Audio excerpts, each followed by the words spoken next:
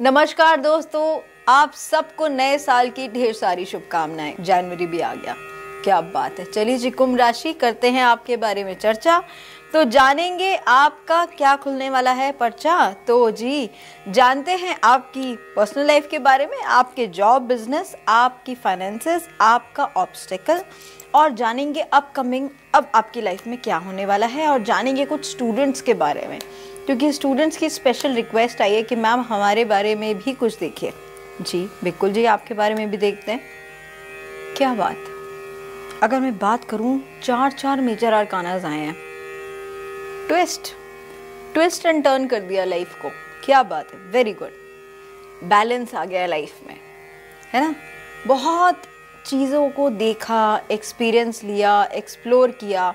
सब कुछ देखने के बाद, अब समझने के बाद, आज की डेट में अब ये सिचुएशन हो गई है कि सॉरी बुरा ना लगे तो बात बोलूँ। वो कहते हैं ना, जब इंसान नंगा ही हो जाता है तो फिर वो कहता है, मुझे किस चीज़ का डर? जो होगा देखा जाएगा। वो आपके अंदर आ चुका है कि अब आपको किसी से डर नहीं लगता, किसी से आपको कोई फ़र्क नहीं पड़ता, आप किसी के बारे में कुछ नहीं सोचते ज़िंदगी ने अब आपको जस्टिस दिया है। अब आपकी लाइफ में टोटल आपका जो कार्मिक सर्कल था वो कंप्लीट हो गया। अब आपकी लाइफ में पूरा सर्कल आपने कंप्लीट किया है, जो आपका कार्मिक सर्कल था। अब आप कर रहे हो कोई नई शुरुआत। बहुत जल्दी कुछ नया शुरुआत करने वाले हो। और अब कोशिश कीजिएगा कि अब आपको जितना दुनिया को दिखाना है, उतना ही दिखाइएगा। ज़्यादा शोशागिरी में मत आइएगा। प्रभु ने आपको बहुत कुछ दिया है। आप एक स्टार सीड बनने वाले हो। ब्लेसिंग्स आपको मिल चुकी है। अगर आपको कोई कोर्ट केस चल रहा था तो वो आप जीतने वाले हैं।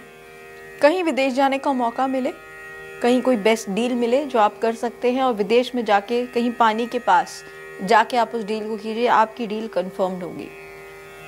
अगर आप यहाँ पे भी रहते हैं और आपको लगता है कि यहाँ पे रह के डील कंफर्म हो जाएगी तो नहीं होगी। अगर आपको मीटिंग करनी है और आपको लगता है डील करना ज़्यादा बेटर है तो कहीं पानी के पास जाके कीजिए। या जहाँ पे मीटिंग हो रही है, वहाँ आसपास कहीं स्विमिंग पूल हो तो वो आपको कहीं ना कहीं एक बेटरमेंट दे जाएगा। आपकी डील कन्फर्म डन होगी, ठीक है? मंडे को किसी को पानी पिलाना शुरू कीजिए या कहीं पानी का प्याव लगा दीजिए। आपके घर में धन वर्षा ही धन वर्षा होगी।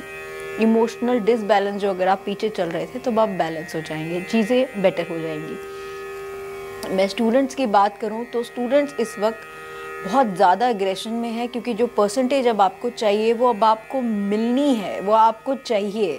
That is your final goal और उसके लिए बहुत प्रेशर है। आपके जो गोल्स हैं, जो आप बोल रहे हैं कि मैं, आपका टारगेट है, वो परसेंटेज को अचीव करना। उस अचीवमेंट के बाद ही आपको विदेश जाने का मौका मिलेगा, जो आपको हायर स्टडीज़ करने के लिए कहीं बाहर जाना है, या कहीं पे भी, जहाँ पे भी आप रहते हैं, वहाँ से थोड़ा सा दूर आपको जाना ही है। वहाँ जाने का आपको मौका मिलेगा और ज़रूर मिलेगा।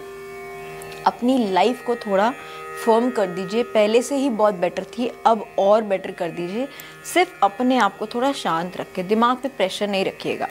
कुछ वेट कर रहे हो अब आप। वेटिंग गेम चालू है। Some waiting game is there disconnect and boredom मतलब अब आप अपने ऊपर से जो आपने जो कर्सेज अपने ऊपर करे हुए हैं ना, कि आपकी ये गलती है, मेरे से ये हो गया, मेरे से वो हो गया, मैं किसी लायक नहीं, मैं ये काम नहीं कर सकता, वो नहीं कर सकता, ऐसा कुछ भी नहीं है। अगर आपके थोड़े भी डाउट्स है ना अपने ऊपर तो कुछ नहीं वाइट कलर का पेपर पेपर ले लो ब्लैक पेन से अपनी लाइफ की सारे ऑब्स्टेकल सारे हर्डल्स लिख दो।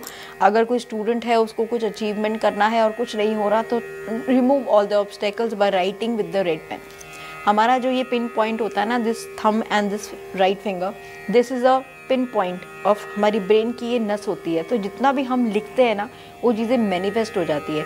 So always try to write whatever you want in life एक डायरी बना लीजिए, एक प्रॉपर स्केड्यूल को फॉलो कर लीजिए, चीज़ें बेटर हो जाएँगी आपकी लाइफ में। शायद आपका नया घर बनने वाला है, अगर आपने बड़े टाइम से कुछ कुछ प्लानिंग करी थी, क्या बात है। देखिए, नंबर ही फोर्थ हाउस होम निकला और सैटर्न का स्ट्रक्चर निकला। हम्म अगर आप कह रहे थे ट्वेंटी फोर, फोर्टी टू, क्या बात है? कार्ड भी देखो कैसे निकल रहे हैं। अब आपकी लाइफ में मैं बोल रही हूँ ना, एक व्हील ऑफ़ फॉर्चून आ रहा है। ऑलरेडी व्हील ऑफ़ फॉर्चून का कार्ड आ चुका है, फिर से आ गया। आपने जो किया, आपके कर्मों का विधान आपको मिलने वाला है। और अगर आपने बड़े टाइम से कुछ घर बनाने की प्लानिंग करी थी तो आपका बहुत खूबसूरत घर बनने वाला है। विद द वंडरफुल इंटीरियर्स और आपके घर का जो मेन डोर होना प्लीज़ कोशिश कीजिएगा कि वो डबल रखवाएँ।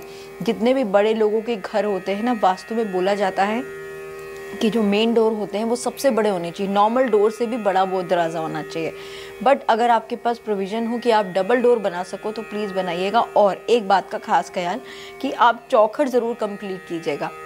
आजकल लोग का फ़ैशन है कि तीन चौखट बना के छोड़ देते हैं, नीचे का हिस्सा भूल जाते हैं।